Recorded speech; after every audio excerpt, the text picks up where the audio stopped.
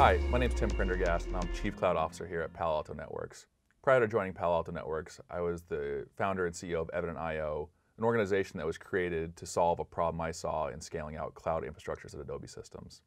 When you think about your cloud journey,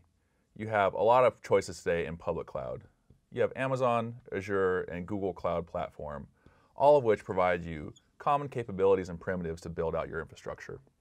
When you think about these primitives, you have to think about the fact that compute, storage, network, and application control give you all the tools you need to build elastic, high-scale applications and services anywhere in the globe. When you think about what it takes to actually operate virtual infrastructure in this way, you have to remember the core security capabilities that you have to manage related to identity and access management, related to authorization, encryption, corporate policy, which is things like, am I allowed to use a size of server that costs three, four, or five dollars an hour? Or should I really be using something that's more budget conscious? Should I be launching systems in regions and places that we don't operate? Many kinds of considerations that often people don't think about in the development lifecycle, but are critical to managing business risk and compliance in the cloud. If you think about the challenges that you're going to face most of these issues that are going to arise are going to be related to the way that you actually set up and operate your cloud environment over time. For an example, if your compute services are fully established, but you have your security settings allowing anyone in the world to access the administrative ports on your systems, you're opening the door to common attacks that exist and predate the cloud, but have never gone away in popularity. Similarly, we've seen a large number of storage attacks where public data has been exposed because organizations weren't prepared to manage the velocity and diversity of data they were putting up in the public cloud and then tracking it over all of time. What ends up happening in these environments is that you need to actually have some kind of continuous cycle to validate the thousands of potential settings that are occurring inside your cloud environment, not only once, not only quarterly, not only annually, but all year long, all day long in near real time.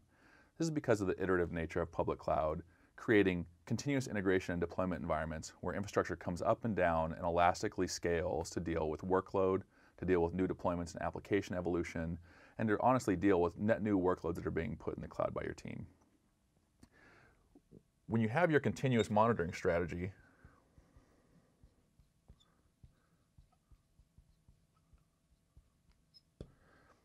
you then have to think about when I'm monitoring my environments, what am I actually looking for and what's meaningful for my organization and what is really something that is, you know, just kind of day-to-day -day acceptable business risk.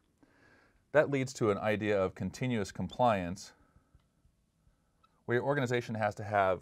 thoroughly established policies and, and capabilities that it understands and rationalizes as part of its day-to-day -day business, but hands down to the technical operations and security teams to actually enforce and carry on as a day-to-day -day good hygiene practice in the, in the process of ultimately getting to an acceptable audit uh, credential at the end of the year. As you start to scale up your workloads and environments, the complexity of these environments will continue to grow over time, leading to dynamic changes and dynamic compliance evolutions and ultimately lots of customer data and important uh, material stored in the storage layer of your environment. You ultimately need to have a, a, secure storage capability that protects your cloud storage and all the data within and ensures that it meets the policies for your environment at all times.